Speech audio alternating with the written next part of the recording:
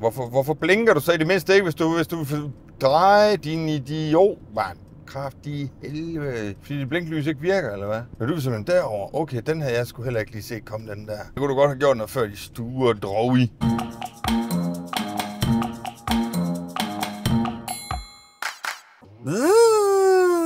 Mm, godmorgen, godmorgen. Jeg ved ikke, om I kan høre mig for det larm, der er udenfor, men der er simpelthen lige nogen, der har besluttet sig for, i dag er dagen, hvor vi skal have trukket øh, det næste lag asfalt på, åbenbart, fordi... Så de er ved at mejsle øh, skidtet op. Nu skal det sat ned med åbne stå. Så jeg skynder mig lige væk herfra, så jeg kan komme videre. Og jeg er lidt bagefter. Klokken den er... Nej, hvordan er det? Bremsen ned. Sådan, øh. Han var, så, øh, han var sikker på, at han skulle, øh, han skulle flytte sig for, at jeg kunne være der. Og jeg var så søg at give dem så meget plads som overhovedet muligt, så de ikke blev kørt ned i de stakkels mænd der. Åh, så var der fred og ro. Men det er simpelthen fordi, at øh, NCC er kommet måske for at gøre noget med noget asfalt. Jeg tror, det er det næste lag, vi skal have. Men igen, så er der også arbejde herude, kan jeg se. Der kommer et lyskryds op. Jeg kan lige give jer noget mere udsyn, sådan der kommer mere udsyn der. Så, så kommer det her humpel og holder lastbil der også. Så au, au, og, og chair, og, og så på en regndag. Altså, det giver ingen mening for mig. Men det kan sikkert øh, fordampe, eller sådan et eller andet i den stil. Godmorgen og velkommen til. Mit navn er Brian, og det her det er den danske brummebasse, du er landet på. Det ved jeg ikke, om jeg fik sagt, men velkommen til. Jeg var heller ikke sikker på, at man kunne høre Så det var lidt mærkeligt værd i åbning, den her. Jeg kunne måske lave den om. Men det gider jeg ikke. Godnat og så godt. Vi er ved at komme over i den mørke tid, kan jeg mærke. Vi er ved at være der, hvor man ligesom skal snart have noget lys på. Altså ikke, ikke herinde endnu. Men det, det er mørkt nok rundt omkring os. Til jeg kan se noget. Jeg, jeg, vent, jeg, vent, jeg venter på dig. Ikke også? Jeg venter på dig, for du skal lige ud. Jeg venter på dig. Jeg venter på dig. Ikke også? Det er nemlig det der med, at du skal lige over. Lige præcis. Og så kommer den næste bil, den skal så øh, dreje den vej der. Så i forhold til det, så har de jo første kørselsret, hvis vi skal følge reglerne helt præcis. Ham, der skal lige over, han har første ret. Og så kommer der en efterfølgende, der skal dreje til samme side som mig. Og da den er tættere på den vej, og kun skal orientere sig om én vej, så er den første ret. Ja, det er mørkværdig noget. Nå. Øhm, jeg vil bare sige godmorgen, godmorgen. Og vi øh, skal op og i gang, og det regner, og det er træls. Og der kom øh, den gamle læge. Ja, han var gammel. Jeg tror, han endte med at blive 76 eller sådan noget. Vi tager lige en chance her. Hoppa! Un, dos, tres. Opa, se du batter Maria. Maria.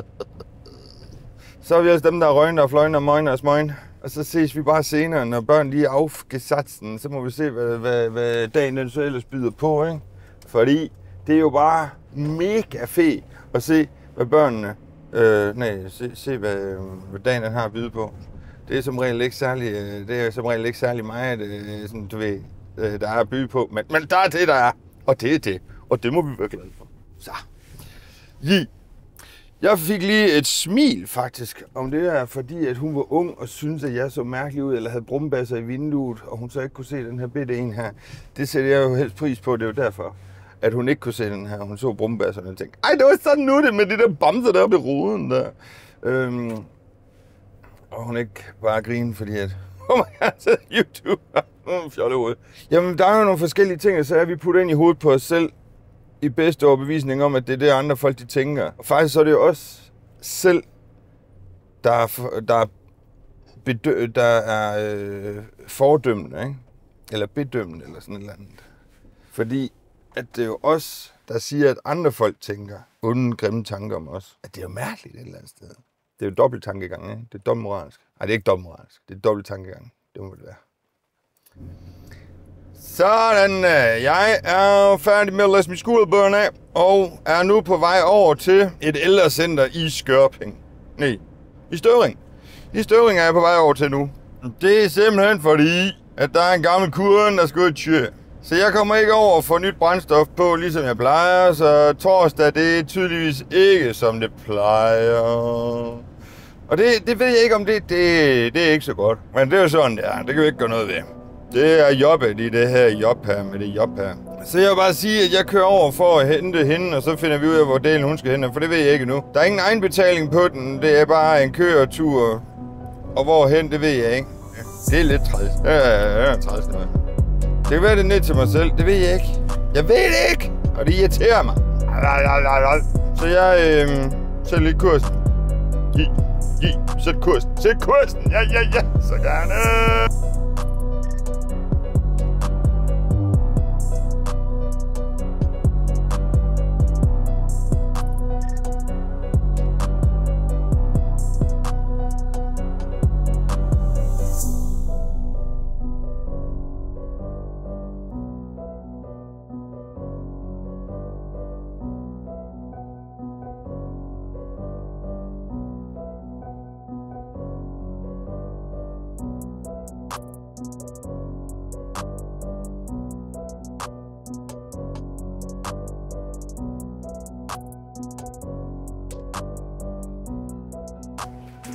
Hobro Hospital har fået sat øh, kunden af og mangler at trykke ny tur, så det får jeg lige gjort. Vi skulle aflevere øh, 8.58. Hun havde en aftale klokken 9, og klokken den er 09 nu. Så det er godt. Vi har fået hende scannet ind og alt det der, så tænker jeg, at de skal være røgfri område. Vi går simpelthen ned på tunnelen. Jeg lavede en parkeringsfejl. Jeg har parkeret over ved hovedindgangen, hovedindgangen, fordi det var da den stod. Jeg havde glemt, at der er noget, der hedder A indgang, og den ligger altså herovre bagved. Så det er lidt noget pøls fra min side af, men sådan kan det gå. Ny tur, det trykker vi lige. For den der er væk, og den der er væk. Og så er vi sådan set på vej ud i bussen igen. Så vil jeg køre hjem, fordi jeg har fået kørt til hjemzonen. Og så er der vist ikke mere at komme efter før klokken 12, tror jeg. Jeg tror nu, jeg skal køre en dreng, men jeg er ikke sikker. Vi ses ude i bussen.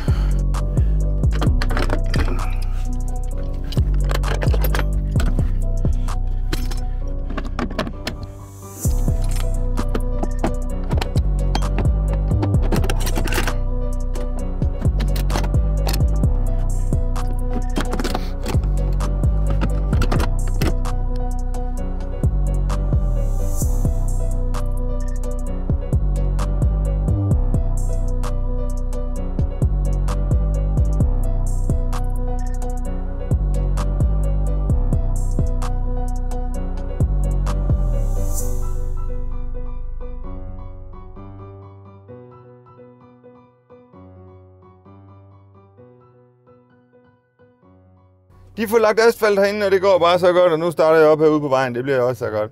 Og så kører vi lige forbi de der asfaltfolk der, det bliver bare så godt. Jeg har fået en tur, der er lang, og det er fra Stenil til Skibsted. Ja. Og så er det tilbage igen, og den har vi haft lige før sommerferien. Vi havde den ikke sidste torsdag, men vi har den i dag. Så det, det er jo spørgsmålet, man synes. Er det fedt, Brian? Synes du, det er fedt at have den tur, Brian? Synes du, det er fedt? Jo, det ved jeg ikke, om jeg synes, det er fedt, eller om det er ekstra hyl, eller om det er et eller andet, eller om det er ingenting. Jeg er bare glad for at have noget lav i. Plus, at den her tur her, der skulle vi gerne kunne få brændstoffet lidt længere ned. Det plejer som regel at være derfor, at jeg godt kan lide den her tur, men okay, den står på 0994 09 liter per 100 km. Og det er jo et godt udgangspunkt. Og så er den op på 9,1. Dammit. Skal lige lade slappe lidt af. Men jeg kører hjemmefra for at køre over og hente den tur der. Den, øh, den starter her klokken 12, og den siger 57, så det siger lige nogle minutter bagefter. Ups. Igen er Brian nutter bagefter. Det er ikke så godt, når Brian nutter bagefter. Brian gider ikke være nutter bagefter, men det bliver en gang imellem. Fordi så skal Kirsten lige, og så skal jeg lige, og så skal vi lige, og så skal den lige, og så skal der lige, og så skal så lige, og så og lige. Og en smule skiv. Og så skulle bilen gerne holde over et eller andet sted. Nej, den er stadigvæk ikke færdig. Den er stadigvæk ikke færdig. Hvad fint er det for noget? Og så var en pusset mand der, der ikke gad hilse. Hvad nu er det for noget? Jeg hader bussemændene, der ikke kan finde ud af at hilse. De tror, de er sejere end mig. Det er de kraftedeme ikke. De bliver aldrig så seje som mig. Jeg er den sejeste. Og sådan det bare. Og så får vi lige regn også på ruden. Fæ! Vi ses senere. Så har jeg fået kørt det, jeg skulle, og det var en tur frem og tilbage. Vi er nede på 8,5 fra 9,1. Og det er altså rimelig godt gået, for vi startede på 100, nej, vi startede på nogen 90 km nede på tælleren. Så det ser sådan her ud, ikke? Jeg ved ikke, om I kan se. Men jeg, jeg er på vej hjem igen, fordi jeg har fået min skoletur ud klokken 15, og der er jo ingen grund til at rejse derover. Klokken den er 13.38, så det vil sige, at jeg har noget tid at gøre godt med hvor jeg ikke rigtig ved, hvad jeg skal bruge, og det kan jeg så bruge til at redigere det, jeg lige har lavet. Så er der kun et klip tilbage, og det er, hvor jeg henter skolebørnene. Så det, det, det er det næste, jeg tænker, det må være det for i dag. Yeah. Nu skal jeg lade være med at ødelægge det, men det gør jeg nok højst sandsynligt. Så er jeg spændt på at se, hvordan vejen den ser ud derhjemme, fordi lige i øjeblikket, der er der asfaltarbejde. Asfaltarbejdet bliver nok færdig i dag. De øh, sidste gang var de faktisk også ret hurtigt til det. Det gik faktisk pænt stærkt, og i dag der skal de bare lægge asfalt øh, slidlag ovenpå. Så må ikke... Åh, oh, det bliver, det bliver bare sådan helt... Skal skal skal Gud, jeg skal hente min bil i dag, og det regner. Nederen. Det kunne godt være, at jeg lige skulle tage over og høre ham med, hvordan det ser ud. Hvordan det står til med, med automobilen. Vi ses senere. Jeg blev ringet op af Yberfyrsten, øh, ligesom jeg var på vej ind til at parkere og lande i et lyskryds og finde ud af, hvordan jeg var ledes med at komme frem og tilbage, eller komme kom hjem, eller om jeg overhovedet kunne komme hjem på grund af det asfalteringsarbejde. Det resulterer så i, at øh, jeg tager telefonen, og så øh, finder ud af, at han vil gerne have mig over at køre Arten skole, så jeg er på vej over for at tage 140 over. Så det er jo, det er jo godt nok så. 8,4. 8,4, 190 km kørt. Det er man godt gået, Brian. Tak skal du have. Tak skal du have. Jeg skulle sødt sagt det dig. Også bare det, at du bemærker det, det er, det er jo fantastisk. Det er sådan noget, der gør mig glad i låget indeni. Inden i låget. ind, inden oveni låget. Låget det i. Nå, så er vi oppe på femmeren igen. Dammit. Ah, vi var så tæt på. Vi var så tæt på. Øh, det var så tæt på, så alligevel så lad fra. Så jeg kører over til skolebørnene over i Arden. Han spurgte mig nemlig også, øh, har du fået kørt hende derude? Yes, det har jeg fået kørt, så det, det er jo så fint. Det er så fint. Det er så fint. Vi ses senere. Yeehaw! Jeg har snakket med mekanikeren forresten. Det glemte jeg egentlig at sige. Mekanikeren og mig, vi fandt ud af, at øh, hvis vi nu gjorde sådan og sådan, sådan, og så fik jeg lige noget ekstra tid. Og, så hvis jeg ikke hørte frem i dag, så får jeg den i morgen, eller et eller andet den stil. Men han regnede med, at følge med, at han kunne nå den inden fyre aften. Og så sagde ja, det tager vi stille og roligt. Det er ikke, det er ikke noget, der står og mangler lige nu her. Bare en gang i morgen, så er det fint nok. Og så, og så siger jeg så til, så siger, så siger han så, okay, godt nok, okay, godt, hej.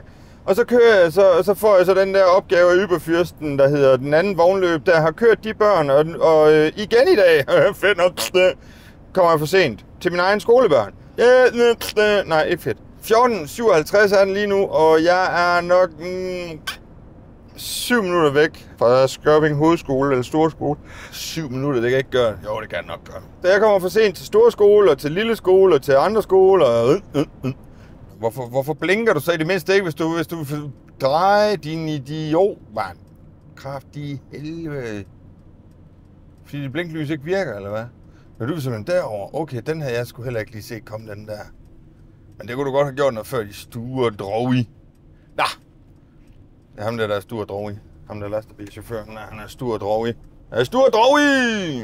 har kørt en 8,5 og en 8,4 i et godt stykke tid, og nu den hedder den så 8,5 igen, og det er jeg lidt træt af. Men den hedder så 222 km, og, og, og lige nu hedder den så 8,5. Ja, det er ikke dårligt. Jeg vil bare sige, at jeg kommer for sent til mine egne skolebørn. Det, det synes jeg er lidt ufedt. Og, og sådan har jeg det bare. Så snart jeg kommer bare lidt for sent til mine egne skolebørn, så er det ufedt. Men bemærk venligst, at jeg kører faktisk ikke hasarderet kørsel.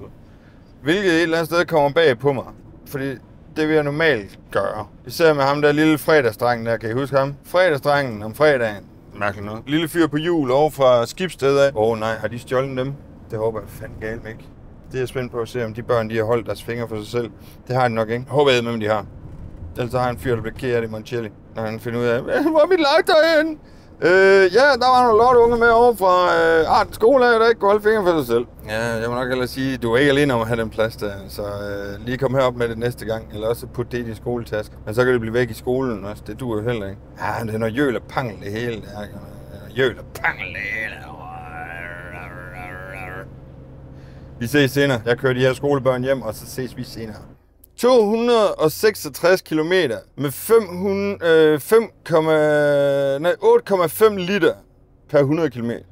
50 km i, i øh, gennemsnitshastighed, og 5 timer og 19 minutter har det taget mig at køre. Det er dagen i dag. Den er jeg lidt stolt af. Og den har faktisk ændret på siden Reset, som hedder Den hed, den hed 9,2 på et tidspunkt, og nu hedder den 8,9. Så det synes jeg er rimelig cool. Og den hed 801 eller andet sidste gang, 864, og nu hedder den 790. Så jeg er spændt på at se, hvor meget vi kommer til at køre i morgen. Tanken den er over halv fuld, så det er jo positivt nok, at jeg et eller andet sted sparer på brændstoffet i dag, når vi nu skal bruge en del i morgen. En hel del i måge. Eller det ved jeg ikke, om det er en hel del. Jo, det skal vi jo nok. Og der skal også bruges noget mandag. Så, så jeg er spændt på at se, om, jeg kan, om, om øh, den her tank her, den holder, eller om jeg er nødt til at gøre et eller andet overild med at, at tanke tank. Men jeg har fået afleveret alle mine skolebørn. Det er simpelthen bare smoothies. Og jeg, den hed 15. Altså klokken den er 15.56 lige nu. Og 15.56, ikke også? Det er jo faktisk slet ikke så fjollet. Hvorfor? Fordi jeg kom for sent ud til mine skolebørn. Og for sent ud til skolebørnene havde jeg egentlig regnet med at have resulteret i, at jeg kom for sent i sidste ende. Jeg tror, jeg var det sidste, jeg kiggede på klokken, det var 6 år, 5 år. Jeg tror, det var 5 år. Det var det sidste, jeg kiggede på klokken, inden jeg var ude ved skolebørnene. Så det er altså ikke dårligt. Åh, oh, hvad siger, hvad er det en kollega? Det var altså åbenbart, ikke? Det var ikke en af dem, der havde vink- vinkehandskerne på. Mere fløjelshandskerne. fløjelshandskerne. Og det var skæb, Brian. Tak skal Så må vi lige op og se, hvordan omledes det står til heroppe, for det ved jeg faktisk ikke. De laver stadigvæk asfaltering af arbejde. Alfast, ast, asfalteringsarbejde. Men jeg tror da snart, de er færdige. Men nu bliver det lige her, vi parkerer. Kan der være en bil der, tror du selv?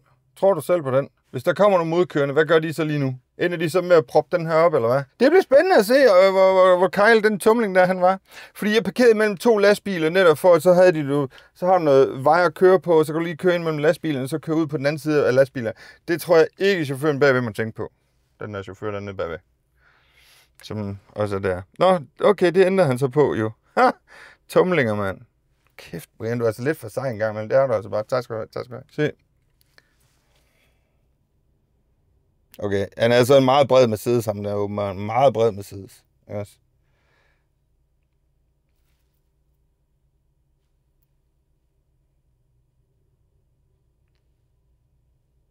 Men det er det der med, at man skal også tænke på den anden vej, ikke også? Man skal også tænke på, at folk, de skal ikke proppe lortet, vel? Man skal være forberedt på, at der godt kan ske noget høj kant, og ham der asfalteringsarbejdsmanden, øh, han vil gerne asfaltere, tror jeg. Mangler de bare, de mangler det her stykke herude. Det er sejt gjort af dem.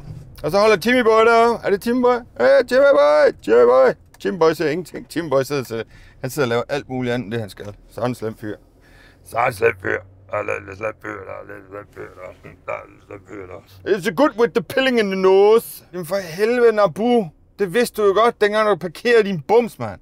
Du skal parkere der. Hvis han parkerer med baghjulet der, så passer det med, at jeg har plads nok til at komme ind på. Nu skal jeg lave sådan noget kringelt op over fortovskanten og alt muligt andet. Ej, hvor er han strid, mand. Øh, bums! Kommer meget tæt på, ikke altså? Kan du se det? Kommer meget tæt på, ja. Sådan der. Og så kommer vi, så retter vi lige op. Og så har vi lygten der, og så... Og der er plads om bagved. Uh! Lad du lige mærke til det, Brian? Ja, det lader jeg godt mærke til. Hvad lader jeg mærke til? Jeg lader mærke til, at jeg bare rullede ind i min indkørsel, uden det der ekstra hop, der der plejer at være der. Så, så kan jeg nemlig tvinge den ind i første hug, når jeg gør tingene ordentligt første gang. Okay, jeg havde alligevel halvanden meter mere at køre på. Sådan der. Sejtal. Sejtal, Brian. Tak skal du have. You did good, my boy. You did good, my boy. Så vi starter med asfalteringsfolk, og vi slutter med asfalteringsfolk. Er det ikke en god idé? Nu skal jeg da endelig minde have redigeret alt det, jeg har fået optaget, fordi jeg tror da godt nok, jeg har optaget en del af det jeg skulle lade være med, det skulle tænke over. Skal noget spise? Nå, vi ses senere. God dag til dig, og opfør ordentligt. Tak fordi du kiggede ind. Mit navn er Brian, og det her det er den danske brumbasse. Hold den flyvende, til vi ses næste gang. Moin så længe. Bzzz.